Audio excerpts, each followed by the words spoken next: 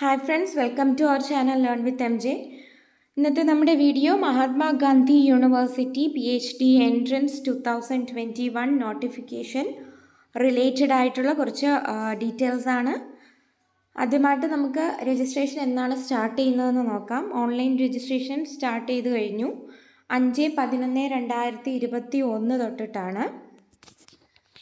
ഇനി നമ്മളൊരു ഇമ്പോർട്ടന്റ് ആയിട്ടുള്ള ഒരു വെബ്സൈറ്റ് ഇതിൽ പറയുന്നുണ്ട്. ഈ ഒരു വെബ്സൈറ്റ് ഒന്ന് നോട്ട് ചെയ്ത് വെച്ചേക്കുക. കാരണം ഈ ഒരു വെബ്സൈറ്റ് വളരെ ഇമ്പോർട്ടന്റ് ആണ്. പി എച്ച് ഡി എൻട്രൻസ് എക്സാമിനേഷൻസിന്റെ കാര്യവും റിസൾട്ടും അതുപോലെ തന്നെ പി എച്ച് ഡി എൻട്രൻസിനെ സംബന്ധിക്കുന്ന നോട്ടിഫിക്കേഷൻസും പുതിയ പുതിയ അപ്ഡേറ്റുകളും എല്ലാം പബ്ലിഷ് ചെയ്യുന്നത് ഈ ഒരു വെബ്സൈറ്റിലൂടെയാണ് മഹാത്മാഗാന്ധി യൂണിവേഴ്സിറ്റി റിസർച്ച് പോർട്ടലാണിത് പി എച്ച് ഡിയുടെ റിസർച്ച് പോർട്ടലാണ് ഈ ഒരു വെബ്സൈറ്റ് വഴി നമുക്ക് ലോഗിൻ ചെയ്യാൻ പറ്റുന്നത്. അടുത്തതായിട്ട് കുറച്ച് ഡേറ്റ്സ് ഒന്ന് ഓർമ്മിപ്പിക്കാൻ വേണ്ടിയിട്ടാണ്. ഓൺലൈൻ രജിസ്ട്രേഷൻ സ്റ്റാർട്ട് ചെയ്യുന്ന ഡേറ്റ് നമ്മൾ ഓൾറെഡി പറഞ്ഞു കഴിഞ്ഞു. അടുത്തതായിട്ടൊരു ഡേറ്റ് പറയുന്നുണ്ട്. ലാസ്റ്റ് ഡേറ്റ് ഓഫ് ഓൺലൈൻ സബ്മിഷനാണ്. പതിനാറാണ് ഡേറ്റ്. പതിനാറ് പതിനൊന്ന് രണ്ടായിരത്തി ഇരുപത്തി ഒന്ന് പിന്നെ മറ്റൊരു ഡേറ്റ് കൂടി ഇതിൽ പറയുന്നുണ്ട്. Last date of receiving the hard copies എന്ന് പറഞ്ഞിട്ട്.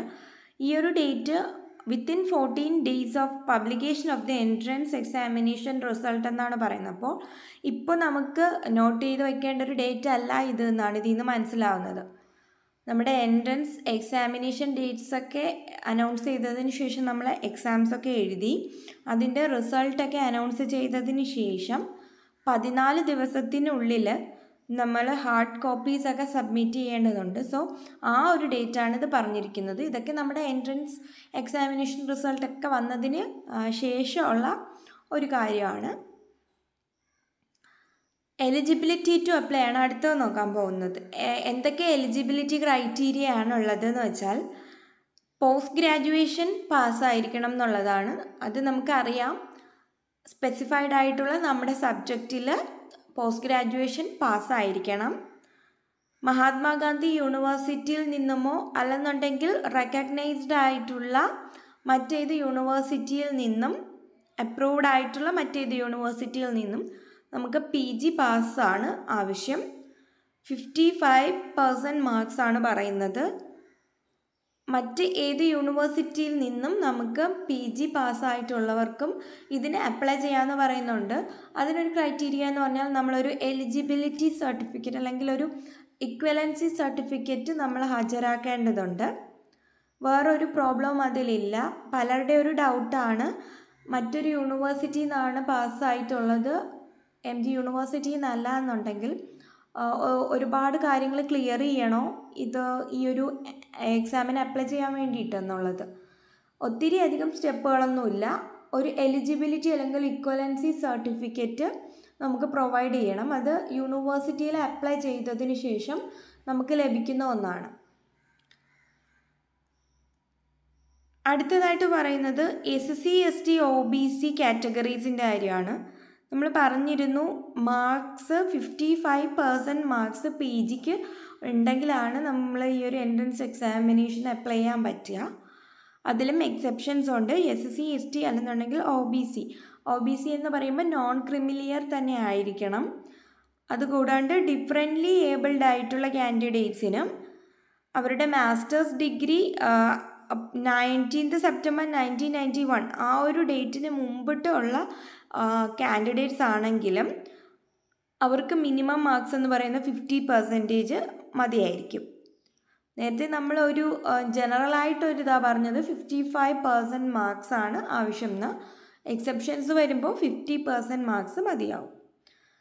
ദെൻ അടുത്തൊരു കാര്യം പറയുന്നത് candidates awaiting results of their P G examinations can also apply എന്ന് പറയുന്നുണ്ട്. പി ജി എക്സാമിനേഷൻസിന്റെ റിസൾട്ടൊന്നും വന്നിട്ടില്ല. അതിനായി വെയിറ്റ് ചെയ്യുന്ന കാൻഡിഡേറ്റ്സിനും ഇത് അപ്ലൈ ചെയ്യാവുന്നതാണ്. പക്ഷേ ഒരു കണ്ടീഷൻ പറയുന്നുണ്ട്. യൂണിവേഴ്സിറ്റി അനൗൺസ് ചെയ്യുന്ന ഒരു സ്റ്റിപ്പുലേറ്റഡ് ആയിട്ടുള്ള ഒരു സ്പെസിഫിക് ടൈം ഉണ്ടായിരിക്കും. ആ ഒരു ടൈമിനുള്ളിൽ P G degree complete ചെയ്തിട്ടുണ്ടാവണം. All the candidates the candidates to apply for P H D admission in admission in the university schools or departments or inter university centres and approved research centres except the categories noted below who are exempted have to appear for the entrance test. അപ്പോൾ entrance test എന്ന് പറയുന്നത് മസ്റ്റാണ് ഡിപ്പാർട്ട്മെന്റ്സിലോ Inter university സെന്ററിലോ അല്ലെന്നുണ്ടെങ്കിൽ approved research സെന്റേഴ്സിലോ ഏതിലോ ആവട്ടെ ഏതിൽ P H D ചെയ്യാൻ വേണ്ടിയിട്ടാണെങ്കിലും നമ്മൾ apply ചെയ്യണം അപ്ലൈ ചെയ്തതിന് ശേഷം എക്സാമിനേഷന് അപ്പിയർ ചെയ്യണം. എൻട്രൻസ് ടെസ്റ്റിന് അപ്പിയർ ചെയ്ത് അത് പാസ്സായിരിക്കണം ഇവിടെ എക്സംഷൻ പറയുന്നുണ്ട്. കുറേയധികം കാറ്റഗറീസ് ഇനി ഞാൻ പറയുന്നുണ്ട്. ആ ഒരു കാറ്റഗറീസിന് ഈ ഒരു എൻട്രൻസ് എക്സാമിനേഷൻ ഇല്ലാണ്ട് തന്നെ നമുക്ക് പി എച്ച് ഡിക്ക് അപ്ലൈ ചെയ്യാൻ പറ്റും. അത് ഏതൊക്കെ കാറ്റഗറീസ് ആണെന്ന് നമുക്ക് നോക്കാം.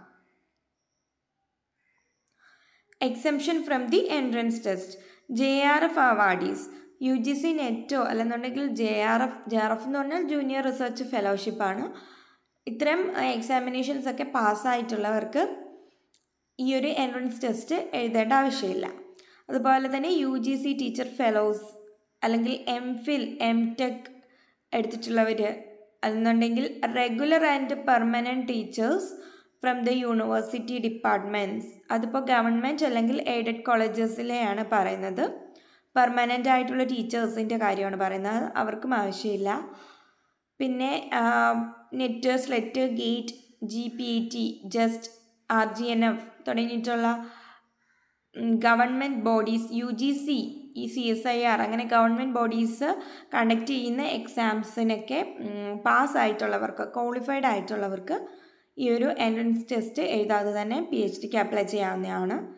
മറ്റൊരു കാറ്റഗറി പറയുന്നുണ്ട് D S T women scientist awardees അതായത് ഡിപ്പാർട്ട്മെന്റ് ഓഫ് സയൻസ് ആൻഡ് ടെക്നോളജിയിലെ വിമൻ സയന്റിസ്റ്റിന് ലഭിക്കുന്ന അവാർഡ് ആണ്. അപ്പോൾ അത്തരത്തിലുള്ള അവാർഡീസിനും ഇതിന് എൻട്രൻസ് ടെസ്റ്റിന് എക്സംഷൻ ആണ്.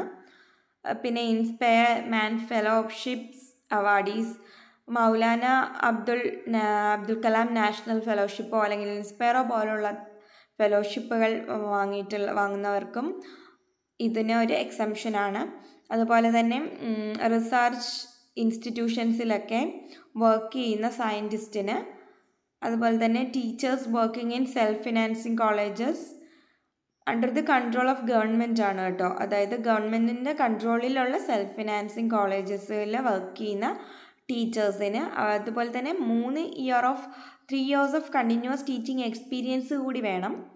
സോ ഇത്രയും കാറ്റഗറീസിന് ഈ ഒരു എൻട്രൻസ് എക്സാമിനേഷൻ എഴുതേണ്ട ആവശ്യമില്ല. പിന്നെ ഫീസ് പറയുന്നത് സാധാരണ ജനറൽ ആയിട്ട് തൗസൻഡ് ഫിഫ്റ്റി ആണ്.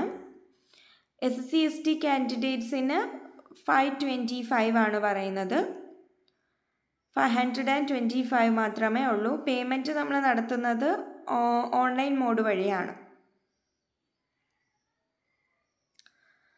Photocopies of the self adjusted to be submitted with the print out of the application form ഇത്രയും ഡീറ്റെയിൽസ് ഇത്രയും ഡോക്യുമെൻസും ഡീറ്റെയിൽസും ഒക്കെ നമ്മൾ സബ്മിറ്റ് ചെയ്യേണ്ടതുണ്ട്. അതിന്റെ ഫോട്ടോ കോപ്പീസ് എല്ലാം സബ്മിറ്റ് ചെയ്യേണ്ടതുണ്ട് along with the print out നമ്മൾ അപ്ലൈ ചെയ്ത് കിട്ടുന്ന ആ ഒരു പ്രിന്റ് ഔട്ടിനോടൊപ്പം സെൽഫ് അറ്റസ്റ്റ് ചെയ്തിട്ടുള്ള കുറേയധികം ഡോക്യുമെൻസും നമ്മൾ സബ്മിറ്റ് ചെയ്യേണ്ടതുണ്ട്. എന്തൊക്കെയാണെന്ന് വെച്ചാൽ നമ്മുടെ പി ജി ഡിഗ്രിയുടെ പ്രൊഫഷണൽ സർട്ടിഫിക്കറ്റ് അതുപോലെ തന്നെ പി ജി നമ്മുടെ മാർക്ക് ലിസ്റ്റ് ഉണ്ടായിരിക്കും. കൺസോളിഡേറ്റഡ് മാർക്ക് ലിസ്റ്റ് അതെല്ലാം നമ്മൾ സബ്മിറ്റ് ചെയ്യണം.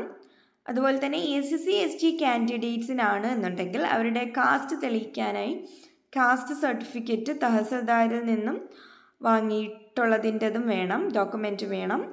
അതുപോലെ തന്നെ ഒ ബി സി കാൻഡിഡേറ്റിന്റെ കാര്യത്തിലാണെന്നുണ്ടെങ്കിൽ വില്ലേജ് ഓഫീസറിന്റെ കയ്യിൽ നിന്നുള്ള നോൺ ക്രിമിലെയർ സർട്ടിഫിക്കറ്റ് ആവശ്യമാണ്. അതുപോലെ തന്നെ ഡിഫറെന്റ്ലി ഏബിൾഡ് കാൻഡിഡേറ്റ്സ് ആണെന്നുണ്ടെങ്കിൽ അവരുടെ ഒരു ഡിസബിലിറ്റി കാണിക്കാൻ വേണ്ടി അതിന്റെ ഒരു സർട്ടിഫിക്കറ്റ് വേണം. That is issued by a government medical board government medical board issue ചെയ്തിട്ടുള്ള ഒരു സർട്ടിഫിക്കറ്റ് ഓഫ് ഡിസബിലിറ്റി പ്രൊഡ്യൂസ് ചെയ്യുക അതുപോലെ തന്നെ അടുത്തതായിട്ട് പറയുന്നത് certificate from the head of the institution regarding the appearance of final P G examination. ആ ഒരു category എന്ന് പറയുന്നത് നമ്മൾ നേരത്തെ പറഞ്ഞിട്ടുണ്ടായിരുന്നില്ലേ പി ജി ഡിഗ്രി റിസൾട്ടിനായിട്ട് വെയിറ്റ് ചെയ്തിരിക്കുന്ന കുട്ടികൾക്കും ഇതിനെ അപ്പയർ അപ്പയർ ചെയ്യാവുന്നതാണ് അപ്ലൈ ചെയ്യാവുന്നതാണ് എൻട്രൻസ് ടെസ്റ്റിന്. അപ്പം അതിന് ഒരു കാര്യം കൂടിയുണ്ട്. ഹെഡ് ഓഫ് ദി ഇൻസ്റ്റിറ്റ്യൂഷനിൽ നിന്നും ഒരു സർട്ടിഫിക്കറ്റ് ആവശ്യമുണ്ട്. അടുത്തതായിട്ട് പറയുന്നത് eligibility certificate or equivalency certificate ഇതെന്ന് പറയുന്നത് മഹാത്മാഗാന്ധി യൂണിവേഴ്സിറ്റിയിൽ നിന്നും പി പി ജി എടുക്കാതെ മറ്റ് റെക്കഗ്നൈസ്ഡ് ആയിട്ടുള്ള യൂണിവേഴ്സിറ്റിയിൽ നിന്നും എടുത്തിട്ടുള്ള കാൻഡിഡേറ്റ്സിന് ഒരു ഇക്വലൻസി സർട്ടിഫിക്കറ്റ് സബ്മിറ്റ് ചെയ്യേണ്ടതുണ്ട്. ഇതൊരു ഈ ഒരു പോസ്റ്റൽ അഡ്രസ്സാണ് അതായത് ഈ ഒരു പി എച്ച് ഡി എൻട്രൻസിന്റെ ടെസ്റ്റ് ഈ ഒരു പോസ്റ്റൽ അഡ്രസ്സിലോട്ടാണ് നമ്മുടെ പിൻ പ്രിന്റ് ഔട്ടും ഡോക്യുമെൻസും എല്ലാം അയക്കേണ്ടത്.